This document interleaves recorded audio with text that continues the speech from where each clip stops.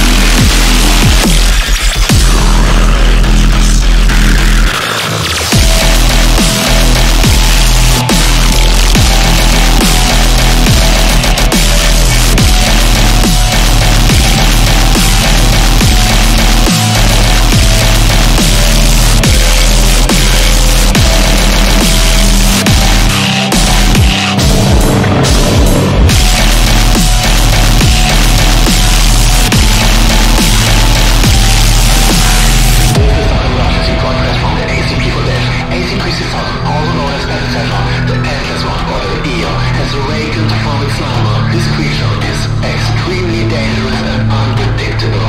It has shown signs of hostility